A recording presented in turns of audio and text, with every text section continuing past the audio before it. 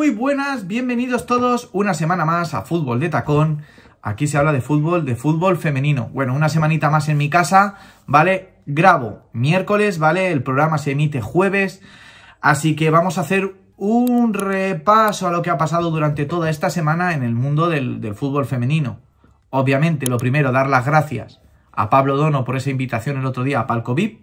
La verdad es que me hizo mucha ilusión que sales, digamos que en la sección más gourmet del canal, por decirlo de alguna manera, fue un, honor, la verdad, que me lo pasé muy bien, así que creo que los amantes del fútbol femenino esta semana no habréis dicho que no diréis que no habréis tenido contenido y opiniones en, en eh, de, sobre, sobre la sección, ¿no? Así que bueno, en otro orden de cosas. El jueves pasado, ¿vale? Perdonar, ¿vale? Lo primero, pedir perdón, porque en el vídeo anterior eh, dije viernes y no, fue el jueves pasado se, se hacían los sorteos de la Copa de la Reina, ¿vale? Donde, bueno, no podía faltar esa gran cita, ese clásico, ¿vale? Que, que, nos ha perseguido, digamos, durante toda la temporada. Nos hemos enfrentado en todas las competiciones enfrentables al Fútbol Club Barcelona. Así que, bueno, lo primero. Segundo, decir que la Copa de la Reina, finalmente la, la sede elegida es el Estadio del Alcorcón, ¿vale? Se disputará en Alcorcón donde, bueno, se disputarán las dos semifinales y la final. Las semifinales, el Real Madrid la disputará contra el Barcelona el, el miércoles, ¿vale? A las 9 de la noche, ¿vale? Y la otra semifinal será un Sporting de Huelva Granadilla-Tenerife que también va a ser muy interesante, ¿vale? Granadilla, vuelvo a repetir, es un equipo que a mí me gusta muchísimo y el Sporting de Huelva, un equipo que, que, eliminó al Atlético de Madrid, que todos sabemos en la temporada que ha hecho el Atlético de Madrid, va a ser bastante interesante. Yo creo que Granadilla darían ese partido favorito a, o favoritas al Granadilla Tenerife y en el nuestro, bueno, las favoritas obviamente es el Fútbol Club Barcelona, el que diga lo contrario, pero yo creo que va a ser una semifinal muchísimo más disputada de lo que mucha gente pueda, pueda pensar.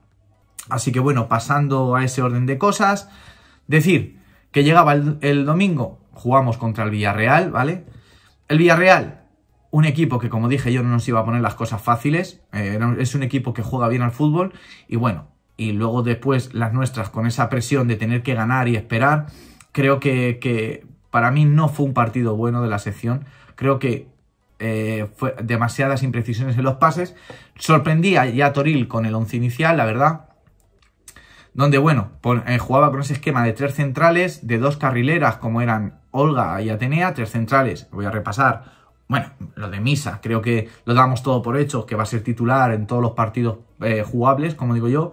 Eh, obviamente, creo que es, es, lógico. Y luego esas tres centrales con Peter Babs, con Iván Andrés y con Rocío Galvez, ¿vale? Quiero destacar desde aquí también la, la temporada que ha hecho Rocío, ¿vale? A mí me gusta mucho, ha dado, la verdad es que ha dado un salto de confianza y un salto de, de calidad brutal.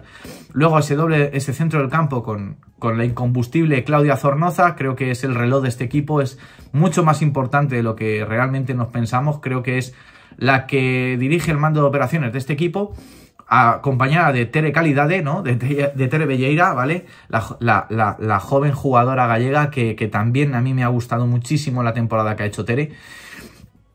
Por bandas, eh, nuestra gran Olga Carmona, ¿no? La que yo creo que en un futuro, para que os vayáis quedando, puede ser, ojalá en algún futuro, dentro de unos años, puede ser, de hecho, es imagen del equipo femenino, el club la ha elegido para, para hacer el vídeo promocional de las nuevas camisetas. Y para mí estoy muy contento y muy orgulloso de ella porque la verdad que, que la chica ha hecho una temporada para eso, para ser imagen y para ser figura del club. Banda derecha para Atenea del Castillo, eh, quedaros con este nombre también para los que hayáis seguido la liga como yo, poquito. Eh, hasta, bueno, yo, llego, sigo metido en materia desde hace tres meses y bueno, y sin parar, gracias a Dios. Atenea del Castillo, que creo que como bien dijo, voy a decir una frase que me dijo el mister antes de ocuparme de la sección, que es Atenea es el futuro, bien ganado. Media punta, vale, fue Maite Oroz, que para mí cuajó un grandísimo partido, fue de las mejores del equipo. Y bueno, en punta de ataque, en nuestra killer Esther y Aslani, ¿vale?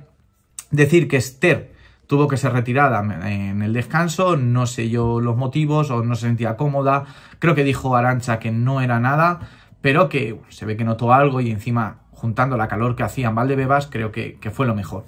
Así que bueno, el partido, decir que que se llegó al 1-0, ¿vale? Al descanso, con ese gol de penalti de Aslani en el minuto 40, ¿vale? Que, bueno, les hacía a las jugadoras de tener una mayor tranquilidad en el segundo tiempo. Tranquilidad, demasiada tranquilidad en algunos momentos, porque el Villarreal realmente tuvo algunos acercamientos peligrosos. Segundo tiempo, eh, Tere era sustituida por, por eh, Aslani también fue sustituida, As por Moller Perdón, Esther fue sustituida por Moller y bueno, al final el equipo yo creo que hizo un grandísimo partido a, expensar de lo que ocurría en el estadio Johan Cruyff, que el partido, como bien dije yo, el Barcelona no iba a, pechear. El Barcelona ganó 2-1 y, desde aquí también eh, felicitar por la temporada Atlético de Madrid, que, que estuvo incluso estuvo muy, incluso muy, muy, muy, muy cerquita, muy cerquita, muy cerquita de empatar el partido, ¿vale? Eh, en ese contraataque en el que Aitana eh, es expulsada, ¿vale? Aitana, la buena jugadora del Fútbol Club Barcelona, y eso nos propiciaba, bueno, ese 2-1 en el Johan Cruyff y esa victoria por 1-0 en el estadio de Alfredo Di Stéfano nos, nos proporciona jugar las dos fases previas de la UEFA Champions League. Desde aquí, ayer, justamente ayer, eh, Arancha eh, subió un tuit explicándolo, ¿vale? Va a haber muy poquitas vacaciones. Recordar que es año de europeo. Las jugadoras internacionales van a tener muy poquitas vacaciones. Por decir casi nulas. o sea, lo digo, lo digo así. Creo que lo que pienso es que, muchas veces hay que pensar. Hay que pensar también en las. Las. Digamos, las. Las asociaciones, la FIFA, las digamos, los que mandan, ¿no? Tienen que pensar muchas veces en, el bien de los jugadores. Me parece brutal lo que va a pasar este verano. Hablo de si es el Real Madrid femenino como si fuera el Atlético de Madrid femenino. O sea, brutal. O sea, jugadoras internacionales casi sin, casi sin vacaciones. La primera ronda, ¿vale? Es un cuadrangular, es un torneo cuadrangular, digamos que, que va a ser una sede neutral. Y, la, segunda, la segunda ronda ya es como el año pasado cuando pasamos contra el City, que van a ser semifinales, digamos, y de vuelta, ¿vale? Así que dicho esto, creo que poco más lo que hay que, lo que, hay que analizar, porque obviamente la semana que viene arrancaremos fútbol de tacón hablando de, esas semifinales de la, Copa, ¿vale? Es decir, desde aquí que para mí ha sido un honor eh, terminar esta temporada regular, que el año que viene vais a tener fútbol femenino durante todo el año, o sea, durante todo, toda la temporada, porque, porque empezaremos antes. Así que bueno, Decir que ha sido una temporada que gracias a Dios se han salvado los muebles, o sea, gracias a Dios se han salvado los muebles, pero que para mí es muy buena, es muy buena temporada o muy buen fin de temporada viendo cómo estaba el equipo antes de diciembre. Hay que analizar todo. Creo que, que ahora el Real Madrid tiene que hacer una reflexión a la hora de confeccionar la plantilla para el año que viene, porque este año, por ejemplo, la plantilla para mí se quedaba un poquito cortita. Creo que Claudia Zornoz ha jugado todo lo jugable. O sea, y, ahí es donde vamos. Luego también el tema de las lesiones. Ha estado lesionada Cardona toda la temporada. Aslani ha estado bastante tiempo lesionada. Al final son jugadoras que el año anterior te habían dado una clasificación para la Champions. También un poquito de mala suerte con eso. Creo que al final hemos tenido que sufrir este año para, para meternos en Champions. En condiciones que si el equipo hubiera hecho una temporada un poquito más regular, yo creo que hubiéramos sido segundas no digo fácilmente porque la Real Sociedad también ha hecho un tremendo campeonato, pero podíamos haber sido segundas tranquilamente. Pero bueno, es lo que hay, el fútbol es así, muchas veces ocurren cosas de las que se nos escapan de las manos y es así. Decir desde aquí que a mí, eh, como pintita, ¿vale?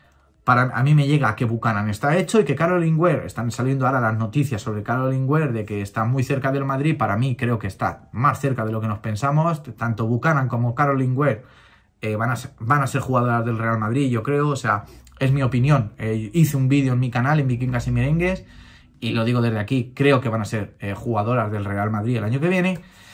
Y bueno, para más, para más cositas, la próxima semana, ya os digo, analizaremos lo que ha sido el torneo de Copa y, bueno, esas semifinales de Copa, obviamente pillaría, ojalá y llegáramos a la final del domingo, día 11, el domingo a las 11 de la mañana, justamente después, el día de después de la final de la Champions. Así que el fin de semana, este no, al que viene puede ser prodigioso. Bueno, aquí os dejo. Muchas gracias una semana más. Ya sabéis, darle al like al canal, ¿vale? A este vídeo. Y hasta la próxima, chicos.